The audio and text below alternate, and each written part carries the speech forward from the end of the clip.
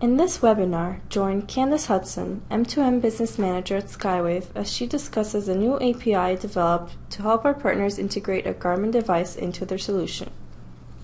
Called the Skywave Garmin API, this Lua application runs on a Skywave IDP terminal and lets it talk to a Garmin Personal Navigation Device, or PND, that supports the Garmin's fleet management interface develop an in-depth understanding of what it is and how it works as Candace explores how it can work as a solution to fleet management problems such as full functionality regardless of cell coverage available. Follow along as she explains how the API can be customized to fit individual business needs and explores the many unique features of the Skywave Garmin FMI API. Candace will discuss the advantages of combining Garmin and Skywave services for you and your customers.